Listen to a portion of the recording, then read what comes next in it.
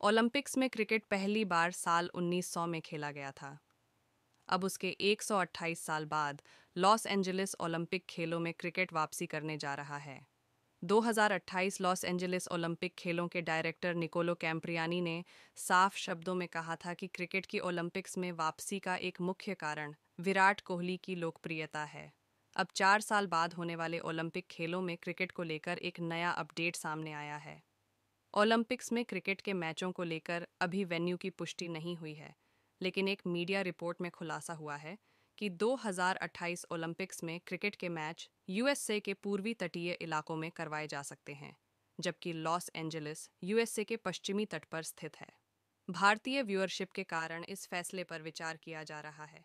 दरअसल यूएसए के पश्चिमी तट, वेस्ट कोस्ट का समय भारत से बारह बजकर तीस मिनट पीछे चलता है, लेकिन पूर्वी तट ईस्ट कोस्ट का समय भारत से नौ बजकर तीस मिनट पीछे है। बता दें कि मेजर लीग क्रिकेट, एमएलसी के मैच फ़िलहाल डलास और नॉर्थ कैरोलिना में खेले जा रहे हैं, लेकिन कैलिफ़ोर्निया में कोई स्थायी क्रिकेट मैदान नहीं है।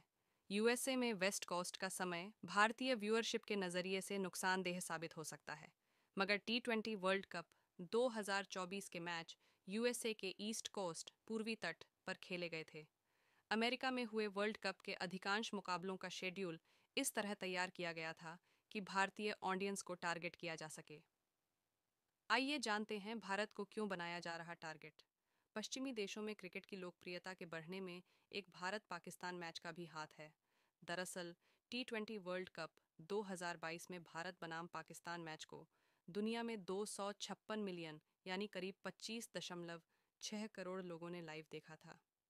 इस पर एक फ़ेमस अमेरिकी पॉडकास्टर ने वीडियो बनाया जो सोशल मीडिया पर आग की लपटों की तरह वायरल हुआ था। 2022 का वह भारत पाकिस्तान मैच की व्यूअरशिप भी कहीं ना कहीं ओलंपिक्स में क्रिकेट की वापसी का एक मुख्य कारण माना जा सकता है।